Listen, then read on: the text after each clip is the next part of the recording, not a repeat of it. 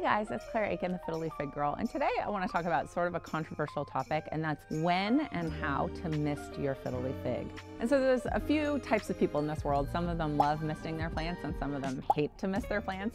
I happen to be somebody that doesn't really believe in misting plants, but I will walk you through what I see are the pros and cons and when you might want to. So in theory, you want to mist your houseplants because you want to increase the relative humidity. My argument against that is that we have done studies where if you mist your houseplant, it increases the relative humidity for a few seconds and then there's no long-term, you know, increase in humidity. If you're really interested in increasing the relative humidity, invest in a humidifier or what you can do is actually group your plants together, which helps them all stay at a higher relative humidity.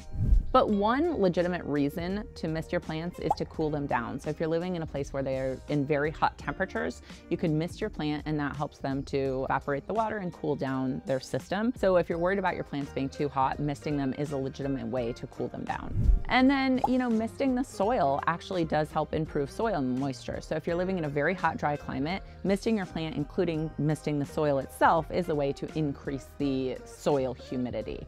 One time I would never mist a fiddle leaf fig is if you live in a very humid condition and if you're facing any problems with overwatering or root rot or fungal infections on your leaves because keeping your leaves too moist is going to be bad. You could, you know, have bacteria or fungus breeding on the leaf itself. So if you live in a very humid place, just don't worry about misting your plants. There's really no need and it can actually be a bit dangerous. So let's go back to the basics. If you're misting your plant, it could be that you're worried about humidity, but if you really want to increase the humidity of your plants, try grouping them together. This is always a good excuse to buy more plants so you can put them all in little groups or little clusters, just like they grow in the wild, and you will have a higher relative humidity and all of the plants will do better in a group.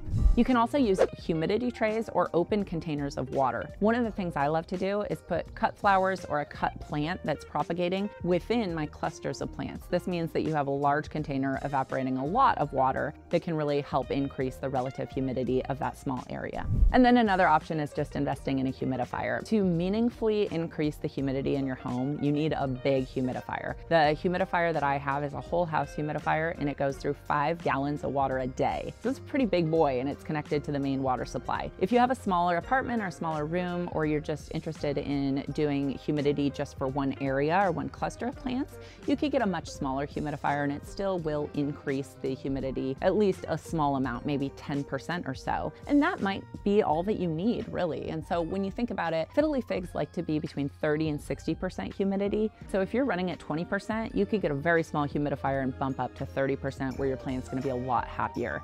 So the key is knowing the humidity of your house. So you're gonna wanna get a small inexpensive sensor and I'll link one below and that's gonna tell you what the humidity is. You may be surprised that you don't have a humidity problem. That's often the case as when people check their humidity, maybe they think their air is dry, but perhaps it's not as dry as they thought. You know, if you're above 40%, I really wouldn't worry about it. But if you're 20 to 40%, you may wanna do some of these steps to increase the relative humidity to get your plant to be a little bit healthier, a little bit more resistant to disease. So while I'm not a huge fan of misting my plants, if makes you happy, certainly continue to do it as long as it's not causing any problems for your plants. But if you're really concerned about your humidity, you know, take some big steps to make sure that you have the proper humidity for your plant. I hope this video was helpful. Thanks for watching and I'll see you next time.